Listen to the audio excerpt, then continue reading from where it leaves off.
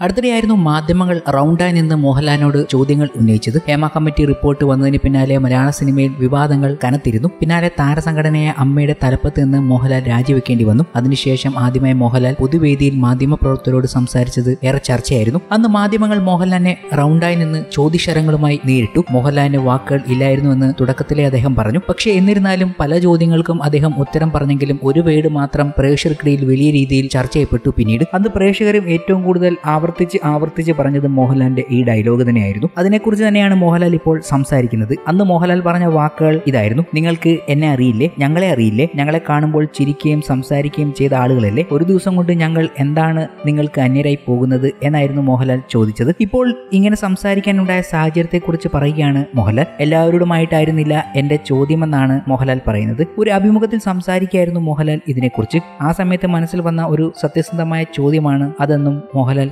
കൂട്ടിച്ചേർത്തു. അങ്ങനെ തോന്നിയതുകൊണ്ട് തന്നെയാണ് ആ ചോദ്യം ചോദിച്ചത്. എന്നാൽ എല്ലാവരോടുമായിട്ടല്ല ആ ചോദ്യം ഒരു വിഭാഗത്തിനോടായിരുന്നു ചോദിച്ചത്. അത് അറിയാതെ ചോദിച്ചു പോയതാണ്. അല്ലാതെ പ്രാക്ടീസ് ചെയ്തിട്ട് ചോദിച്ചതല്ല. ആ സമയത്ത് മനസ്സിൽ വന്ന ഒരു സത്യസന്ധമായ ചോദ്യമായിട്ടാണ് ഞാൻ അതിനെ കാണുന്നത്. മോഹൻലാലിന്റെ വാക്കുകൾ ഇങ്ങനെയായിരുന്നു. ഇത് വലിയ രീതിയിൽ മാധ്യമങ്ങളിൽ ശ്രദ്ധ നേടിയ ഒന്നായിരുന്നു. ആരാധകർ പോലും ഈ കാര്യത്തെക്കുറിച്ച് പറഞ്ഞുകൊണ്ടാണ് സോഷ്യൽ മീഡിയയിൽ എത്തിയത് പോലും.